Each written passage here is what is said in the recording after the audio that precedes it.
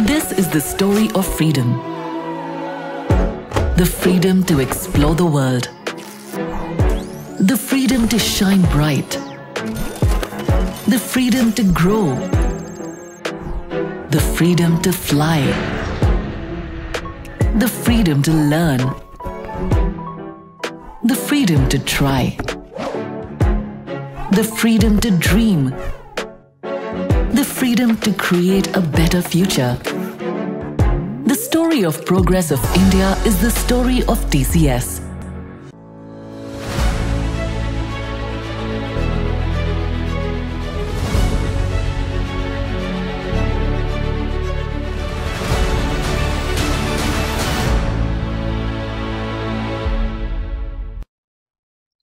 Hello and welcome to the second episode of our special show on transforming India.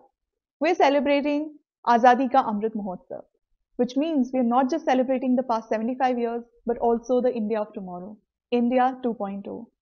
And how can we talk about India 2.0 without mentioning the contributions of research and innovation? To speak to us on the topic, we have a very special panel today. First up, we have Dr. Shekhar Mande, who's the former DG of the Council of Scientific and Industrial Research. Next, we have Dr. Sanghamitra Bandyopadhyay. She is the director of the Indian Statistical Institute at Calcutta. We also have K. Ananth Krishnan. He's the executive vice president and the chief technology officer of Tata Consultancy Services. And we also have Professor Subhasis Chaudhuri, director of the Indian Institute of Technology, Bombay. Welcome to the show. So my first question to you is Dr. Mande. As a scientist, what does India at 75 mean to you? It's important to remember that in 1947, when the colonial powers left, our GDP was a mere 2.7 lakh crore and our food grain production was nearly about 50 million tons. We were coming out of one of the deadliest famines in recent times in 1947, out of the war, and out of one of the largest migrations in human history. So the challenges for independent India where actually to get people trained, skilled for jobs, build industry, make sure that we develop a proper ecosystem. We had merely 17 universities and IITs did not exist in 1947. So build a complete education system, feed our population, implement democracy, and country security. These are some of the challenges that what we had. And with that in mind, uh, we decided that science, technology, and innovation would play an important role in the next number of years in the independent country. And at that time, the only publicly funded uh, organization for giving research grants and all was essentially CSIR, which had been founded in 1942. And therefore, science, technology, and innovation and its promotion responsibility came upon CSIR. And soon after, many, many other organizations came in Department of Atomic Energy, DRDO, ICAR, ICMR, and so on and so forth. And of course, many education institutions, starting from 1950s, the IITs. So all of it together is time to reflect upon how all of us have done together well or not so well in which areas in the 75 years of our history. So I think it's a good occasion to reflect upon these facts and see what we can do for the future. Back to you, Priyanka. Uh, you know, we had some visionary uh, scientists with us in the past. We had Homi Bhabha, we had C.V. Raman, we had Vikram Sarabhai. Do you think these visionary scientists gave us a head start? What you see, these names that you mentioned, you know, like C.V. Raman, Homi Bhabha, Vikram Sarabhai, they were not only like, uh, you know, the scientists or engineers, you know, per se, but they are the also a strong personality, believers of nationalism, that something has to be set up which will have a long lasting thing. So they had the vision. And if you see today, many of these organizations and others were created by them. Even today, they are actually have been testing the time, right? And they continue. They created the spirit that many things can be done. So if you look at the, you know, the atomic energy, Department of Atomic Energy, we were probably one of the most successful countries you know in terms of if you look at how much of investment versus how much is the you know the output that has come and similarly if you look at let's say vikram sarabhai you go into the space and other things you know see what a remarkable kind of thing that has happened over time right? So, and this thing, it's definitely it's continuing, and it is our responsibility to actually ensure that the spirit continues, and the government also has to ensure that this is the kind of whatever the funding, whatever the kind of facilities that are required, they continue to be provided. Ananth, uh, Mr. Kohli had the vision to set up, you know, one of the first industrial research centers, which is uh, now TRDDC. Tell us about that vision, and you know, tell us about TRDDC and how it has been a catalyst in building India. No, Priyanka, uh, Mr. Kohli was truly a visionary, and uh, in the mid 1970s, he articulated that India had missed the industrial revolution, but we should not miss the information revolution. And that thought process and the conviction that information technology, right from that early stage of the 1970s, is going to be integral to so many other industries, was the catalyst for setting up of TRDDC. Right? And that seed is now TCS Research and Innovation. We have over 40 labs globally that culture, which has been part of TRDDC, is now global. Our academic ecosystem, which Mr. Kohli established with the IITs in the 1970s, is now worldwide across uh, so many different institutions, of course, in India, but also uh, globally. And lastly, I think the kind of problem statements that we work on are at truly the cutting edge. So that is the kind of pioneering vision that FC Kohli established with TRDDC the first step, and now uh, we are taking that vision further forward. I want to come to you, Dr. Sanghamitra. Uh, would it be fair to say that research and innovation has been key in building the digital backbone or the backbone of the nation and the growth and development of it? Uh, the green revolution, the white revolution, um, the space program of the country, the nuclear program of the country. Uh, you can uh, look at the vaccine uh, vaccine industry of India. These are all through science uh, and technological research and innovation which have played its role of where India is today. Um, in healthcare, there, are, there have been a lot of innovations. The prosthetics, for example, the Jaipur foot, uh, it's a hugely innovative uh, idea. Uh, Tata Nano, it's frugal innovation. Okay, so the uniqueness of Indian innovation has been, as uh, Dr. Mashelkar puts it, uh, MLM. So it's like uh, you uh, get more with less for more. Even in the recent times, for example, uh, when for a newborn, uh, finding out those with low birth weight, not many, almost one third of the babies were not getting weighed because of certain taboos. So there are um, uh, institutions which are looking at this and they have come up with uh, a way of estimating the birth weight of the neonates from videos of the uh, of the child. So um, these are innovations which are required for India and innovations which have to be socially aware of the realities of India. So yes, uh, India has uh, relied on the science and uh, research innovations, but I would say it has to become much more innovative uh, if it has to become uh, the, a leading country, a developed country.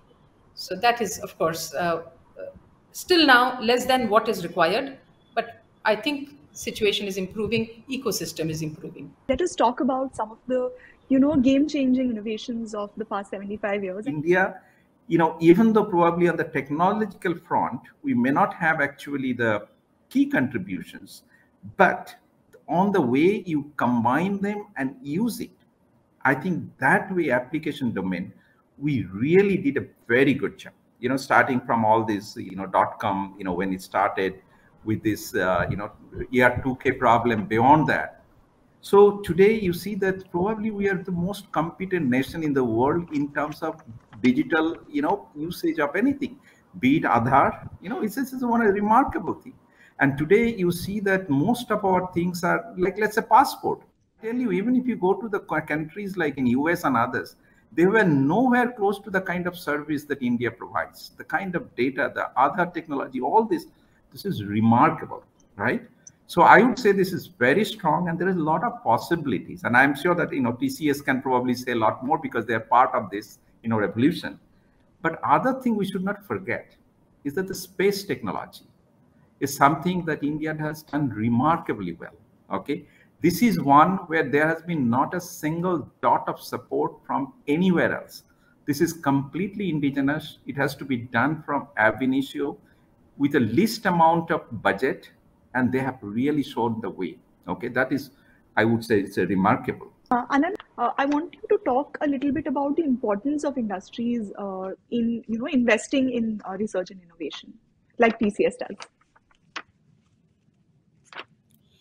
So, from the uh, uh, TCS perspective, Priyanka, that is partly culture, but also part of the strategy of the company itself.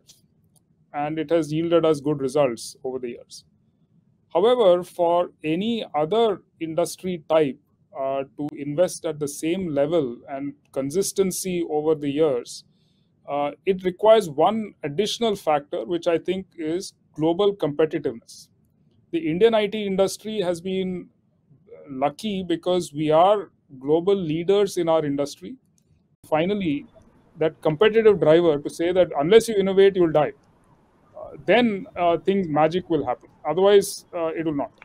Let me take the IIT system. The you know, uh, so after the independence, actually the bottom of the pyramid was not there. So we had to create top quality manpower you needed even though I think the finance, there was a lot of financial crisis in the government in terms of getting the best quality undergraduates. And these are the things that, you know, not like what you do in laboratories and others, you know, you put a lot of emphasis on skill, you know, like something analytical skill building, which actually put our students in a much, much way ahead compared to uh, many of the people from wherever they graduate from. Now, uh, so that's what I call it IIT 1.0, right?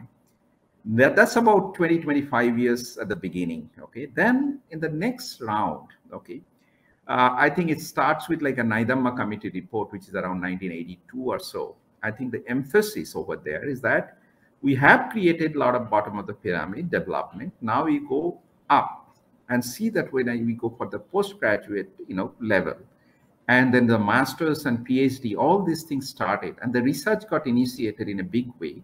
Okay thanks to uh, mr nayudamma and then this is what i call iit 2.0 which is for another 20 25 years.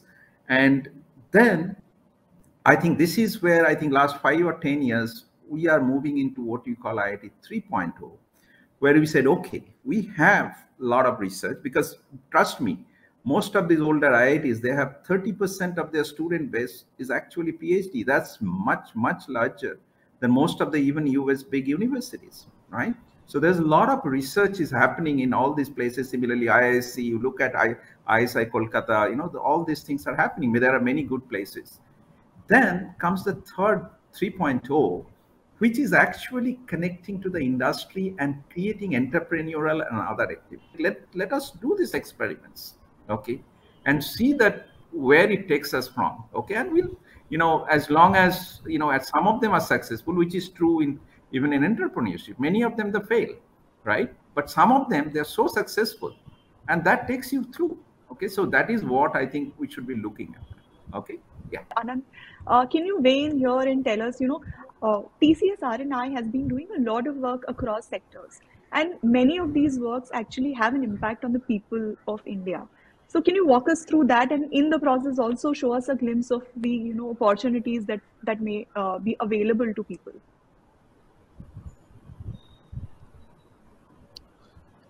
So the uh, examples that come to mind, Priyanka, if I uh, look back, things like, for example, the uh, contribution of the industry as a whole um, to the national GDP uh, it's now just around 10% of India's GDP is attributable directly or indirectly to the uh, IT industry. That I think is a fairly large effort, uh, which is not small in terms of impact on the life of every Indian.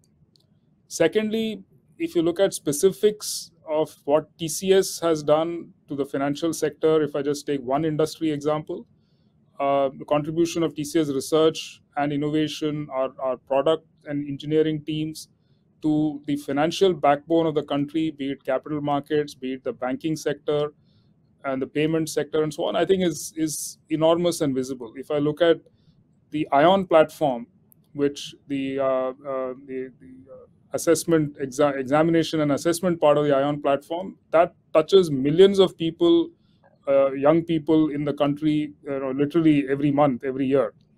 Um, and so on. I mean on the social sector there are so many things which have been done. The computer based uh, functional learning and literacy program which started in tcs research uh, the you know the uh, the diagnostic kits for tuberculosis done in the early 1980s uh, the uh, the water program, which resulted in the Tata Swachh uh, device. Many of these had roots in TCS research. More recently, during the pandemic, the city of Pune was twinned uh, by TCS research and a range of ecosystem partners in that city so that the strategies of the city administration in unlocking the city or uh, making life easier for the citizens under the glare of the pandemic was was an exemplary piece of work. In the academic world, I acknowledge uh, uh IIT Bombay, ISI Calcutta, CSIR, they're all partners of TCS in our co-innovation network in the country. We work together on important problems. We help build talent for not just TCS, but for the industry and the world at large, especially PhD talent. Uh, TCS uh, Foundation has supported 350 computer science PhD students over the last 10 years across a range of institutions who are doing extraordinary work, not just in academia, but in industry as well. So across the board, I think TCS R&I can be proud of the impact that we have created, but I'm even more excited by what lies ahead because we are partnering with all these institutions uh, through the research parks, through the startups that they have, and of course, research collaborations to invent the next generation of world beating solutions. Dr. Mande, I want to come to you. How important is it to retain talent in R&I and how does one do it? How do industries and uh, you know uh, academic institutes do it? We have to have a system in which everyone in this entire spectrum has a chance and opportunity to express themselves. And as long as we create a system in which everyone can express themselves, and continue to excel what they have chosen, I think we will uh, have a much, much better society for the future. And for that, the research and innovation plays a very important role, as I said, the entire spectrum. And if we sensitize people that what opportunities exist in the entire spectrum that I said, from doing fundamental work up to the society, this sensitization alone would be eventually able to Uh, uh, retain the talent in the research and ecosystem system, innovation ecosystem in the country. Thank you. Ananth, I want you to weigh in here because you've been talking about, you know, the career opportunities in research. So walk us through some of these opportunities. Oh, Priyanka, you know, it's important for that external ecosystem to be supportive, just like Dr. Mande just said, and I'm sure Sanghamitra and, and Subhasis will have similar examples from the academic context. But for any organization, and TCS is no different, it is important to have that culture of innovation from research to uh, real life problems, inventing the technologies to solve those, and eventually launch them as new products, new services, uh, perhaps uh, of, of very large impact. That life cycle requires a lot of different capabilities. There is a specific career path that we have created for people in research. Uh, innovation has a similar career path. Lastly, the connect with the external world is so important. So the evangelists in TCS, who are the bridge between the problems, ideas, and solutions, uh, they have an extraordinary career path as well. So all of these have to be in the mix. Individuals will pick up what is appropriate for them at that point in time in their careers. And lastly, the internal and external connect with startups through the coin ecosystem, with academia through our research partnerships, with the uh, social initiatives that I mentioned, which are so fulfilling for many people to see that impact not in terms of just revenue or cost, but in terms of social impact. Uh, the Digital Impact Square in Nasik is a great example.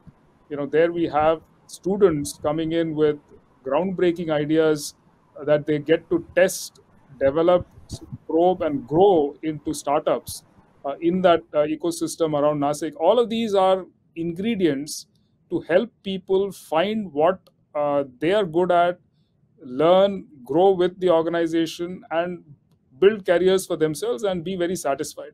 So I think it's a mix. I often tell uh, my my colleagues and younger colleagues uh, specifically that TCS Research and Innovation is like a very diverse buffet in a nice hotel.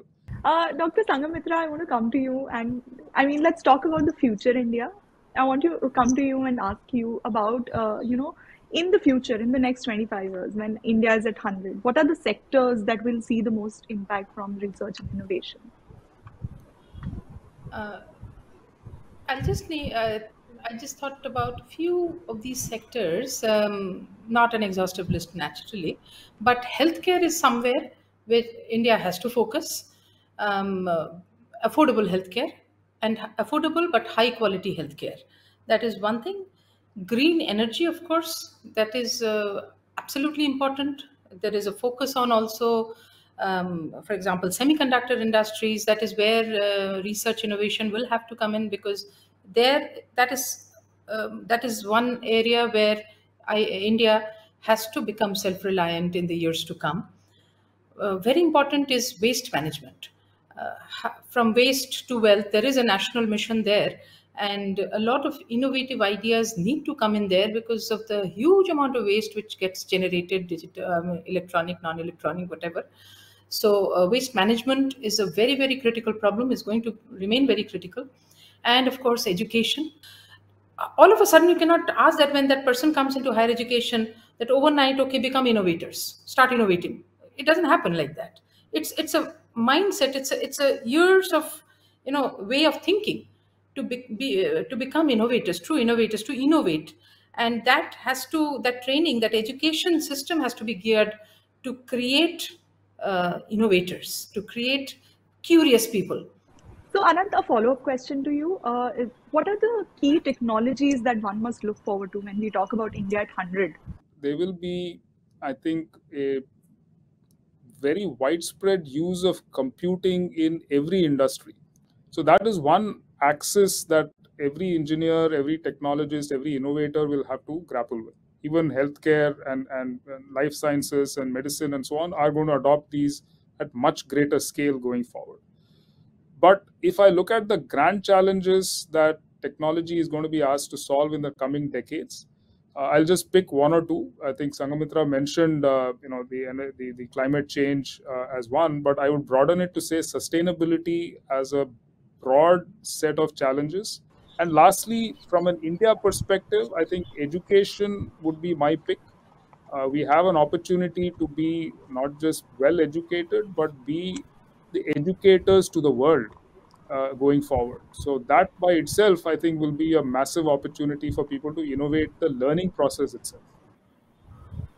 That's a very beautiful thought. And on that thought, we've come to the end of the session. I'd like to thank all of you, uh, Ananth, Dr. Mande, Dr. Sanghamitra, and Professor Chaudhuri for joining us today and talking to us about the uh, the you know contributions of RNI and the potential it holds in building India 2.0. Thank you so much.